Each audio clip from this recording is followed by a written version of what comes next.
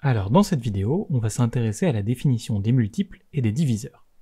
Donc la définition précisément c'est que si A est égal à B multiplié par K, ou que A divisé par B est égal à K, ou K est un entier naturel, alors on peut dire que A est un multiple de B, ou que A est divisible par B, ou que B est un diviseur de A, ou que B divise A.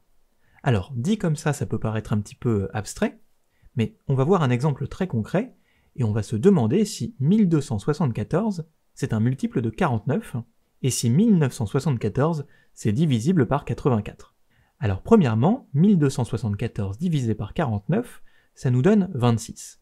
Donc en effet, comme 26 c'est un entier naturel, on peut dire que 1274 c'est un multiple de 49. Vous voyez, ça correspond bien à la définition, donc c'est vérifié.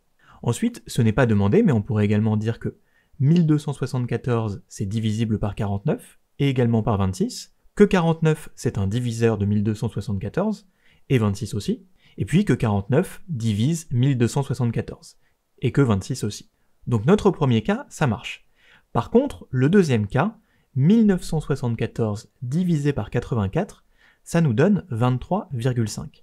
Or, 23,5, il y a un chiffre après la décimale, donc ce n'est pas un entier naturel.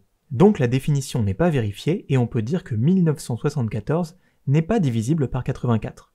De la même manière, on pourrait dire que 84 n'est pas un diviseur de 1974 et que 1974 n'est pas un multiple de 84. Donc voilà, on en a terminé avec cette petite présentation des multiples et des diviseurs. J'espère que ça aura pu vous aider. Si c'est le cas, n'hésitez pas à laisser un like et à vous abonner, et puis on se voit dans une prochaine vidéo.